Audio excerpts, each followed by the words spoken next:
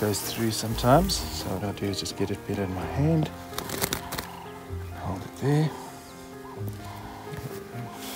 And then we just take it over the head. There we go, and he's out. That's the red bull quelea. Fighting. Off.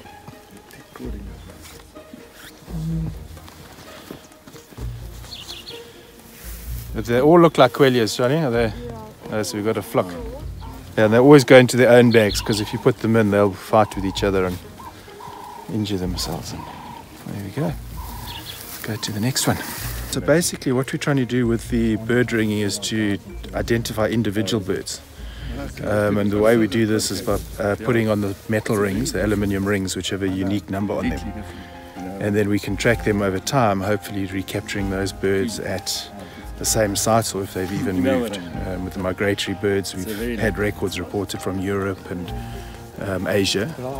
Um, so it's we learn from the ringing, um, the migrations, the timing of it, and locally how birds you know move. Do they stick to their territories or are they shifting territories over time?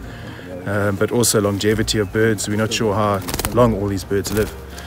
Um, so with the recaptures, you know, we're starting to learn how long they do live and yeah, which areas they move to. Um, so in terms of conservation, you can identify areas that you need to, you know, conserve. This was the red bill queleas, and then this the white-winged widow bird.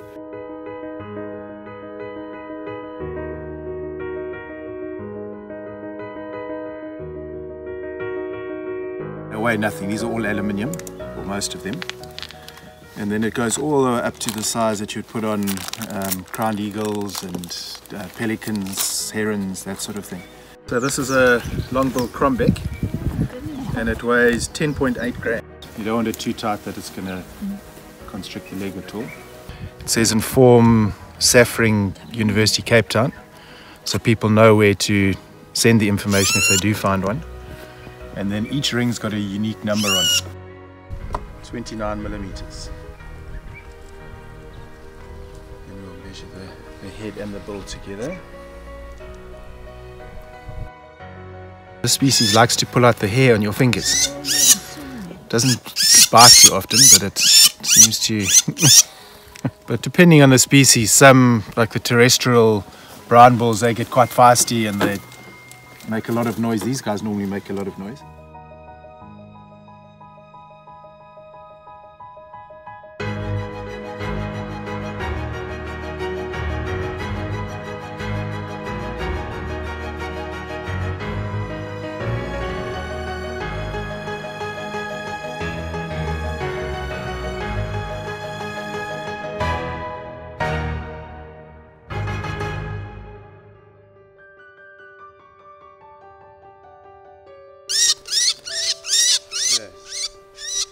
Get them in the sun, the colours, it's just